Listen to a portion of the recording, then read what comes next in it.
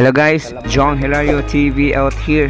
Ah, kapag tayo po ay nasa loob ng eroplano at pag may emergency, ito lang po dapat natin gawin. So let's go! Akyat muna tayo sa taas guys kasi andun yung gate pass natin. Ah, antay-antay muna tayo.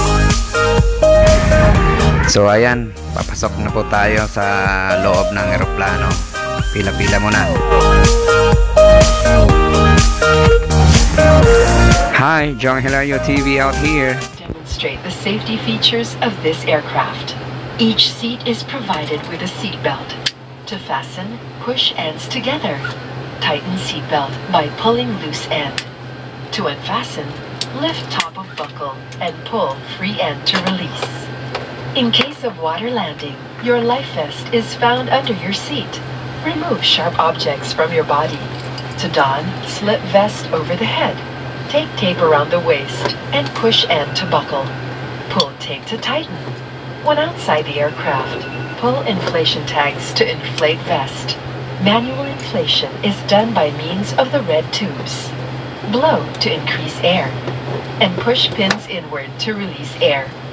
Light automatically illuminates once the battery is immersed in water. Do not inflate the life vest inside the aircraft.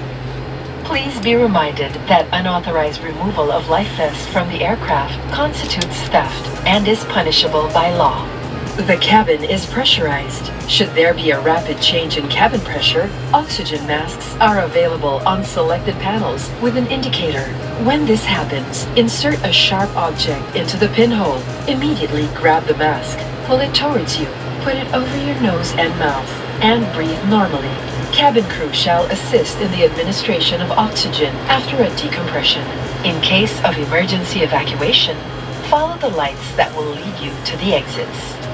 For further information, please refer to the passenger briefing card found in your seat pocket. This aircraft is equipped with emergency exit signs found in the cabin.